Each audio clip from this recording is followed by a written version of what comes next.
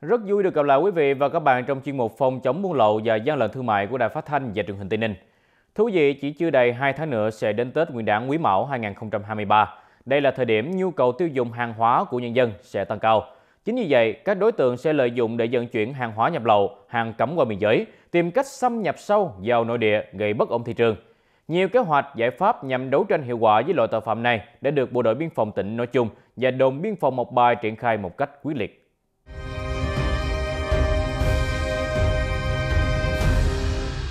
Tây Ninh có đường biên giới dài khoảng 240 km với 48,6 km đường sông, tiếp giáp với ba tỉnh từ Bông Khơ Mum, Preven và Svay Riêng của Vương quốc Campuchia, với ba cửa khẩu quốc tế gồm Mộc Bài, Sa Mát và Tân Nam, ba cửa khẩu quốc gia và 10 cửa khẩu phụ, nhiều đường mòn, lối mở. Đây là những điều kiện thuận lợi cho phát triển kinh tế xã hội, mà đặc biệt là xuất nhập khẩu, nhưng cũng là điều kiện cho các đối tượng vận chuyển hàng hóa qua biên giới, buôn lậu, gian lận thương mại, liên tục thay đổi phương thức. Điều này cũng đặt ra nhiều khó khăn cho lực lượng bộ đội biên phòng trong công tác bảo vệ an ninh biên giới, phòng chống các loại tội phạm trên biên giới. Phương thức thủ đoạn hoạt động các đối tượng mà buôn lậu gian lận thương mại thường là chúng ờ, gom hàng và tập kết hàng ở các kho bãi ờ, ở phía ngoại biên đối diện ờ, với chúng ta. Sau đó thì chúng câu móc với này các chủ hàng, chủ đầu nậu ở phía Việt Nam, rồi chúng thuê thuê người dân ở Ờ, hai bên khu vực giới, kể cả bên khu vực giới của Việt Nam hoặc ở bên khu vực giới của Campuchia để mà lợi dụng giờ nghỉ, ngày nghỉ hoặc là lợi dụng trong những cái ruộng rẫy ờ, cao su, ruộng mía, ruộng mì về cả những cái khu vực ờ, đồng trống, những đường mòn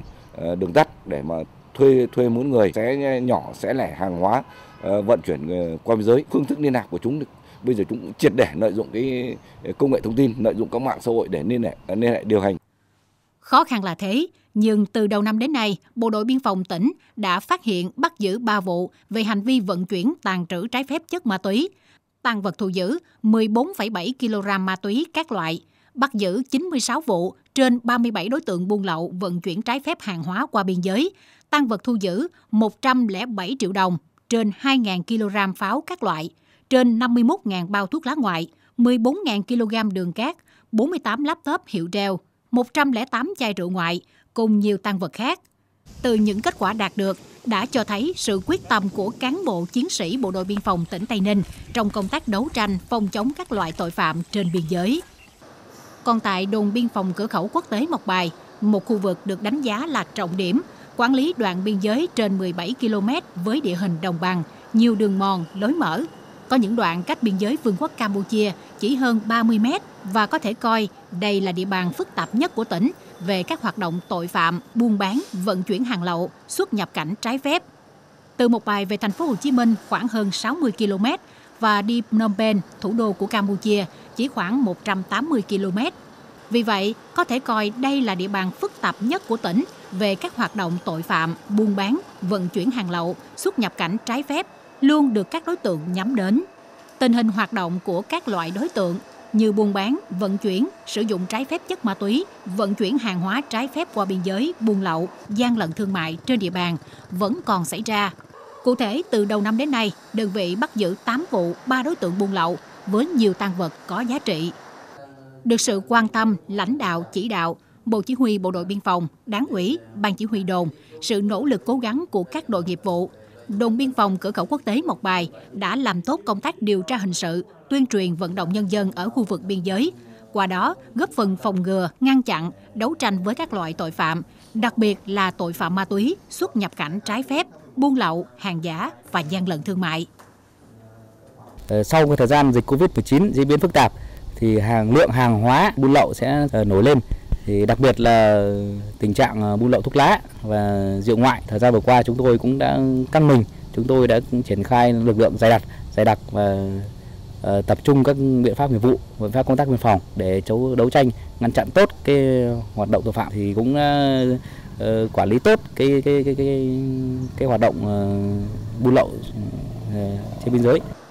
Dự báo thời gian tới lợi dụng chính sách của đảng nhà nước ta mở cửa hòa nhập quốc tế ngày càng sâu rộng, nên việc lưu thông biên giới ngày càng thông thoáng, nhất là lợi dụng các phương tiện hiện đại, công nghệ thông tin. Các loại tội phạm xuyên quốc gia sẽ tăng cường móc nối, cấu kết chặt chẽ giữa tội phạm ở bên trong và bên ngoài biên giới để hoạt động. dẫn đến tình hình hoạt động của tội phạm ngày càng diễn biến phức tạp, khó lường, nhất là tội phạm ma túy, buôn lậu, gian lận thương mại và hàng giả ngày càng tinh vi, hoạt động mạnh nhất là trong dịp cuối năm.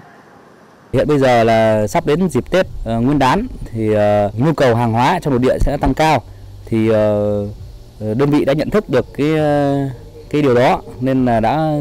có những uh, kế hoạch uh, phối hợp hiệu quả uh, phối hợp chặt chẽ với các lực lượng chức năng tại cửa khẩu cũng như là các lực lượng trên địa bàn như công an, uh, quân sự rồi uh,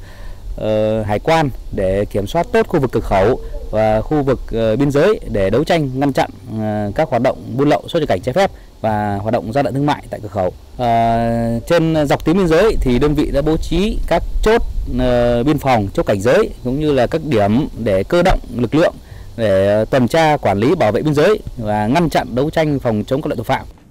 Đặc biệt mới đây, Bộ Tư lệnh Bộ đội Biên phòng đã triển khai kế hoạch cao điểm trong dịp Tết Nguyên đán 2023 từ ngày 1 tháng 12 năm 2022 đến ngày 28 tháng 2 năm 2023.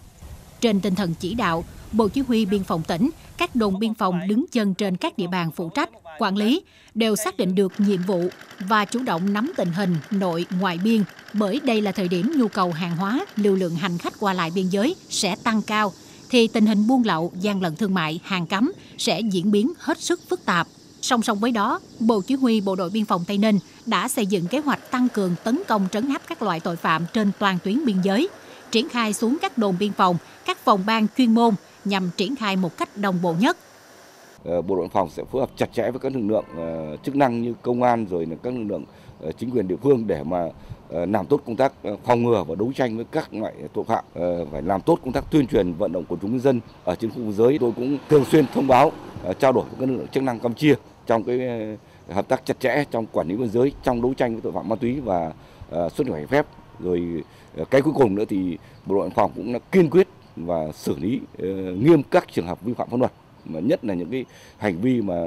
uh, mua bán vận chuyển ma túy này, hành vi tổ chức cho người khác xuất cảnh phép, hành vi là buôn lậu gian lận uh, thương mại để mà uh, góp phần uh, đảm bảo cái an ninh uh, trật tự trên khu vực giới để giữ cái bình yên cho uh, biên giới trước trong và sau dịp Tết Nguyên đán. Trong thời gian tới, Bộ đội Biên phòng tỉnh nói chung, đồn biên phòng cửa khẩu quốc tế Mộc Bài nói riêng sẽ tiếp tục hoàn thành tốt nhiệm vụ bảo vệ an ninh biên giới, phòng chống các loại tội phạm buôn lậu, gian lận thương mại, vận chuyển trái phép hàng hóa qua biên giới, góp phần cùng chính quyền địa phương, các lực lượng chức năng đem lại một mùa xuân bình yên cho nhân dân. Thưa quý khán giả, chương trình truyền hình chuyên mục phòng chống buôn lậu và gian lận thương mại của Đài Phát thanh và Truyền hình Tây Ninh đến đây là hết. Chân thành cảm ơn quý khán giả đã quan tâm theo dõi chương trình. Hẹn gặp lại vào chương trình lần sau. Thân ái, chào tạm biệt.